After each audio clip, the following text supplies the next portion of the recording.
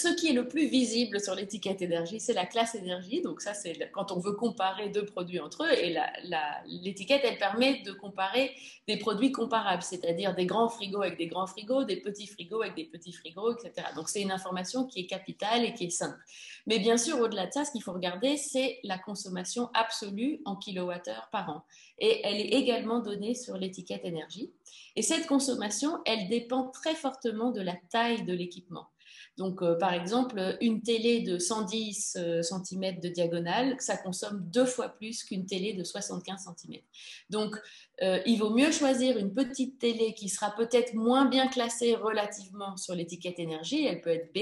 Si elle est petite, elle consommera moins qu'une très grande télé classée A3+. Donc, il faut aussi faire très attention à ce paramètre qui est la consommation d'électricité absolue. Euh, si on achète un appareil de lavage, bien sûr, euh, regardez la consommation d'eau, c'est aussi très important.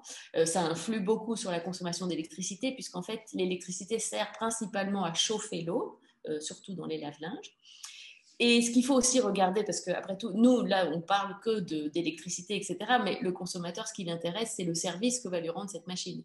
Donc, il faut regarder, parce que l'étiquette a cet avantage, c'est qu'elle qualifie le service. Donc, par exemple, pour les hôtes, avant l'étiquette énergie pour les hautes aspirantes dans les cuisines, avant l'étiquette énergie, il n'y avait aucune information sur la qualité d'aspiration, alors que maintenant, il y a une lettre qui dit si la hotte aspire correctement, c'est-à-dire si elle fait correctement son travail ou pas.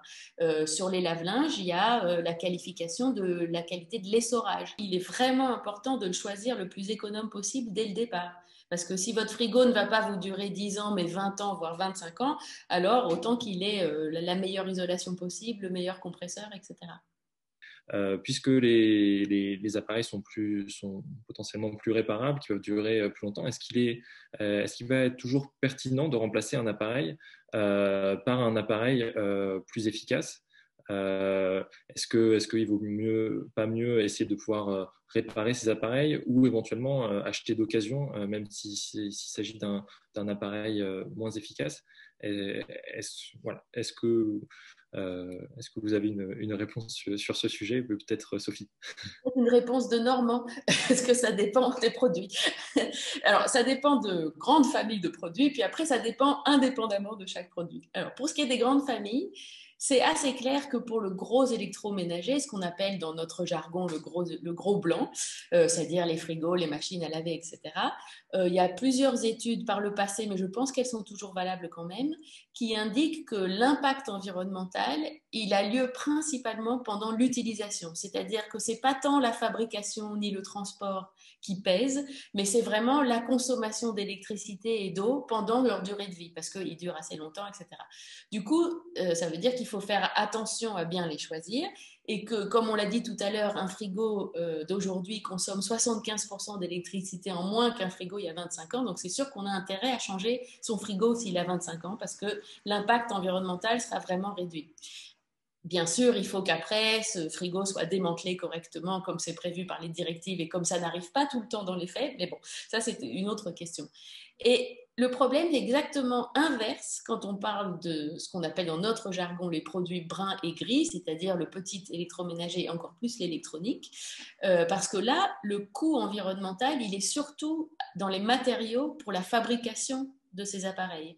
Alors ça veut dire que quand on a un smartphone, c'est justement le smartphone qu'il faudrait faire durer le plus longtemps possible jusqu'à ce qu'il meure, qu'on le répare, qu'on recommence et qu'on le garde le plus longtemps possible.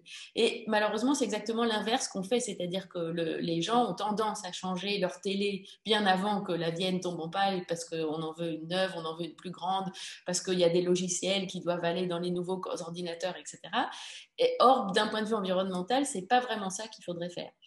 Après, si on regarde appareil par appareil, la situation est beaucoup plus compliquée parce qu'on ne sait pas exactement, on n'a pas une analyse pour chaque produit du coup sur le cycle de vie ça, euh, ou de son impact.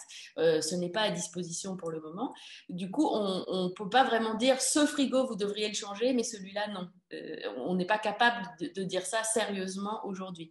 Il y a peut-être des questions qu'il faut se poser. Donc, je pense, moi, d'un point de vue vraiment très général, que le petit électroménager, il ne faut pas hésiter à le faire réparer. D'autant plus qu'aujourd'hui, il y a beaucoup de réseaux qui aident les consommateurs à faire ça. Il y a des Repair Café, il y a des sites internet comme Spareka, qui est soutenu par l'ADEME justement, où il y a des tutoriels euh, pour euh, aider les gens à réparer leurs petits électroménagers. Donc là, il ne faut pas hésiter. Même pour le gros, d'ailleurs, pour les lave-linges, il y a des choses qui se réparent très facilement. Si un lave-linge tombe en page au bout de 5 ans, ce n'est pas normal. Donc voilà. En revanche, je ne suis pas personnellement, je ne suis pas très pour tirer la corde de l'usage infini d'un frigo, d'un lave-linge, etc. Parce que les nouveaux modèles sont vraiment, en principe, devraient être moins impactants. Et aussi pour rappeler que malgré les progrès qui ont été faits par tous ces appareils pris un par un, la consommation d'électricité a énormément augmenté jusqu'à ce qu'il y a quelques années. Maintenant, elle reste sur un plateau.